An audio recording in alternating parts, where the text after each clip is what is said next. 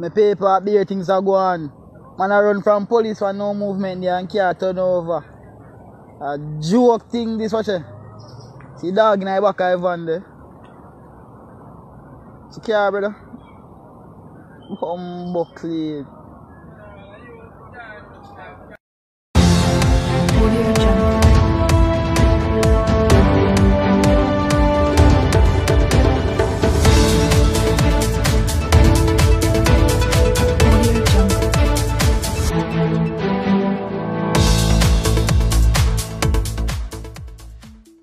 Blessed good night to all of my viewers, all of my subscribers, them. Yeah, right back again. JNN News Channel is here with another breaking update, my viewers. I'm sub. And now for the nightly news, let us get into it. Portmore fire. Mother leaves young one in house to attend illegal party. Jano, my viewers, I'm sub. Before we get into that one, yeah, what kind of madness are going on in Jamaica, my viewers, I'm sub. Mother, I leave them youth in a house alone for got illegal party. Me not understand this right now. Make we hear what I say before we get into details. Team of firefighters was called to extinguish a blaze that destroyed a section of a house in Waterford, Portmore, St. Catherine on Saturday. Reports are that while firefighting to bring the fire under control, it was found that a mother had left her four month old young one in the house to attend an illegal party that was taking place at 1 a.m. during curfew hours. You see all of them something I want going in a Jamaica, my viewers and my sub. All this I'm there right now, you know, my viewers. Forget Lacko, you know. And show in the forest part in a cell, you know, man. One deep, deep, deep cell, you know. What kind of wicked mama like this, man? John, my viewers and my sub.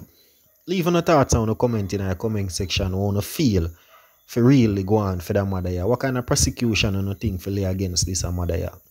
Sources report that while firefighters were battling to put out the blaze, they heard music blaring away at a party the wee hours of the morning. Another source from the first responder team said while officials were at the location trying to bring the fire under control, a woman was seen running towards the blazing house crying out that her child was in the house. The fire responded would later disclose the development on his social media page.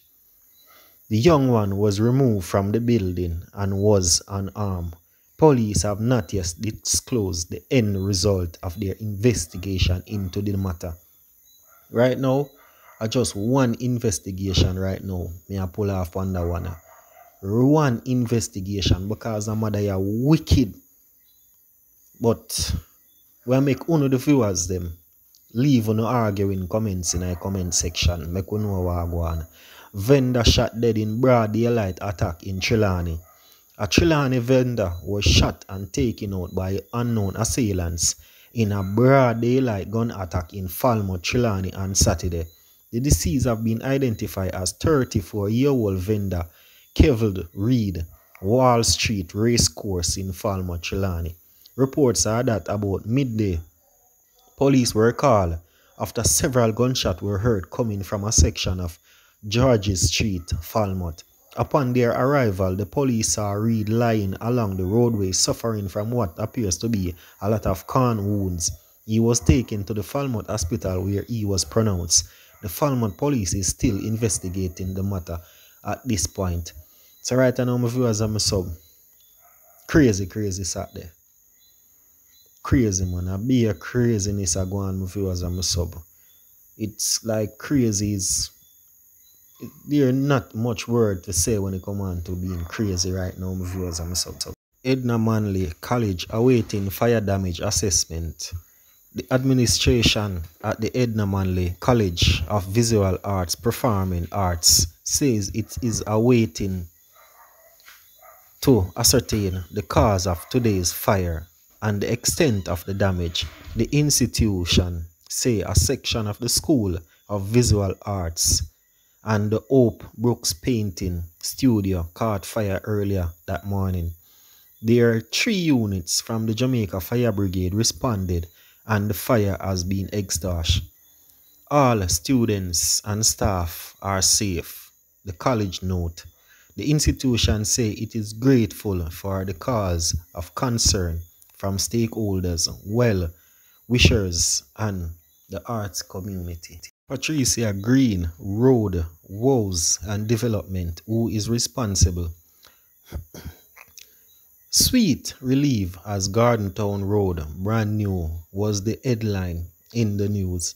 On September the 13th, about its reopening, many congratulations to all who work, assist to make this happen. Was this record time? There is much good that still abounds, and this road construction project should be celebrated.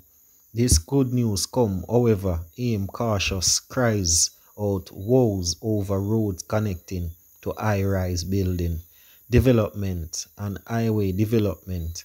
Clearmouth Drive made news on television and radio after Tropical Storm Grace passed on August the 17th. Its nearly retained roadway collapse, exposing re- recently laid sewage lines after various filing attempts.